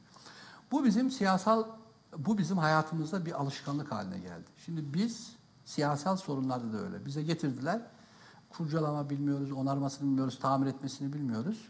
İşte Güneydoğu sorunu. Al. E ne yani? At bu sefer Güneydoğu sorunu kullanat da yani nereye atıyorsun? Ülkenin yarısını mı atıyorsun? Nasıl atacaksın? Değil mi? Şimdi bu siyasal sorunlar öyledir. Siyasal sorunları da çözebilecek insanlar yani. Çözebileceksin, onaracaksın yani bunu. Şimdi Cumhurbaşkanı Haşim ya da Haşim Kılıç ya da bu insanlar hangi siyasal sorunları onarma? Dikkat et projeler dayatılıyor. Bu projeleri geçirmekle, bu projeleri onaylamakla yani Türkiye'ye dayatılmış projeler var. Ermeni sorunudur, Avrupa sorunudur, Güneydoğu sorunudur. Bunlar bu projeleri tasdik eder pozisyonda oturuyorlar. E, bu şimdi siyaset Türkiye'de birden döndü. Tıpkı 60'lı yıllarda ne yapardık? Biz onarırdık. Ya da 80'li yılların başında. Bizim siyasetçilerimiz de onarması lazım. Siyaseti onarması lazım. Aksaklıkları, hukuki rahatsızlıkları, değil mi bu çıkmazları? Hayır, al kullan at. E, iyi de yani şimdi niye alıp kullanıp atalım? Bir bunu an, dilinden anlayacak hiç politikacı yok mu? Bakın Balyoz'da asil soylu subaylarımız içeride hepsi orada duruyor. Bilmiyor adamlar ya şunu çıkartamıyorlar işte. Orada meclis toplanacak iki dakika bu işi halledecekler. Çünkü kendileri bilmiyorlar. Çünkü kendilerine veriyorlar kullan bu projeyi ya şey yap falan yani o projeyi taşıyıcı adamlar onu kullanan onu onaran insanlar değil. E, Türkiye zaten buradan kaybediyor. Şimdi Amerikalı kullandığı arabayı iki yıl sonra atabilir. Çünkü yeni arabayı yapan onun mühendisi. Yeni arabayı yapan onun iş adamı. Senin yeni arabanı yapan, sen hep dışarıdan alıyorsun. Evet. Ya sen şimdi kullanıp atarken biraz düşüneceksin çünkü dışarıdan alıyorsun. Cep telefonu dışarıdan alıyorsun. Arabayı dışarıdan alıyorsun. E şimdi sen bunu kullanıp birden atamazsın. Ya atmaya hakkımız yoktur. O yüzden siyasetimizde CHP'nin de içinde ya onarmadan anlayan insanlar, bir sorunu çözmeden anlayan insanlar var mı? Ekonomide, siyasette, hukukta. Bak Türkiye saçını başını yalor hale geldi. Emniyet infilak etti, hukuk infilak etti. Bütün bunların dilini anlayacak adamlar var mı? Ha bunları onarabilecek diyelim. Metin Feyzioğlu gibi, Ümit Kocasakal gibi, Sabit Kanatoğlu gibi ya da baş- başka alanlarda sağ kitlelerin de içine şey yapacak Abdülhatif Şener gibi yani. Bunları onarmaya aday insanlar varsa tamam. Evet. Ama bizim burada dikkat edeceğimiz şey e, biz bize bir proje adamları başından beri Türkiye'de Kemal Derviş vari, küçük Kemal Dervişler diyelim. Evet. Kemal Dervişler vari bize proje adamları takdim ediliyor. Sarıgül proje adamıdır. Öbürü proje adamıdır. Bunlar onarmaya gelen, sıhhate gelen, tedaviye gelen, çözüme gelen insanlar değildir. Bunların sadece şey kendileri duracak. Bunların şanssız olma şansı da yoktur. Biraz önce şeydeki NTV, CNN spikerleri anlatırken söylediğim gibi. Bunlar garanti adamlardır. Proje ve garanti bir adama verilir. Endüstrinin mutlak başarılı adamları. Taşıyıcılar bunlar. Oysa eşyadan anlayan, siyasetten anlayan değil mi? Bu anlayalım ya. Döner dükkanı çalıştırıyorsak bu döner dükkanı anlayalım. Ama hep bize şöyle bir döner dükkanı çalışıyor. Ya oğlum şu dükkana dur ben bir yıllığına Türkiye'ye gideceğim. Sen dükkanda dur. Hiç bilmediğin bir adamı teslim ediyorsun. Ha, bir de reklamını yapıyorsun. Ya bu oğlan çok iyi oğlandır falan diye etrafına. E, olmaz yani. Bunlar hep proje insanı. Bir Türkiye bu proje insanlarından hızla kurtulması lazım. Proje insanlarından kurtulmayı nasıl göreceğiz? Abi insanların hayatları var. Ne mücadele etti, ne yaptı işte hepsi ortada. Bakarsın Ümit Kocasakal ne yaptı, Emin Ülker ne yaptı? Bunların hayatları, geçmişleri, yalan var mı, hırsızlık var mı, üçkağıt var mı, duruşları nasıl, siyasi sorumlulukları nasıl, değil mi? Sorun çözebilirler mi? Kitlelerin dilinden anlıyorlar mı? Sosyoloji biliyorlar mı? E buraya bakıp değerlendirirsin. E bıktık ya. Bıktık kardeşim bu proje adamlarından ya. Türkiye'ye proje adamları takdim ediliyor hala. Spikeri proje adam. NTV'nin spikerleri hepsi proje adam.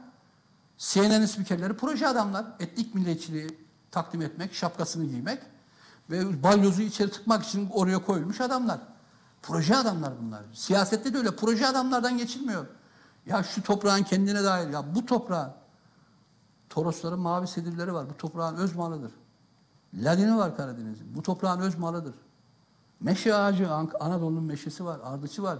Bunlar bu toprağın öz hakiki. Bu toprağı tutmuş. Dikkat edin, kökü bu toprakta olan adam yok neredeyse. Kökü bu toprakta olan yazarınız var mı? Hepsi proje adamı, hepsi endüstri, holding adamları bunlar. Hepsi başka bir şey yazıp çiziyorlar. Üç kelimeyle özgürlük, üç kelimeyle demokrasi yapıyorlar. İnsanlar burada cığıltılarla ağlıyorlar. Bağırıyorlar, hakları yeniyor milyonların. Ses yok, seda yok.